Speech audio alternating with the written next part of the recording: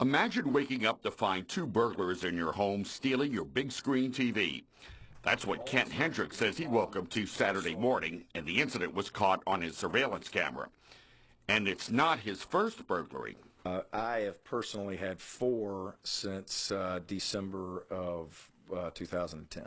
Hendricks thinks it's the same person in each case and says he has a recognizable tattoo, so he called police. I had six calls into the police before I got a call back. I had to call Mayor Kant to get a return call.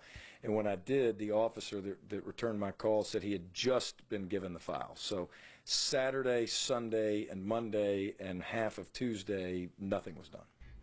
And Hendricks isn't the only Montrose resident to get burglarized. He says since May there have been five burglaries in a four-block area.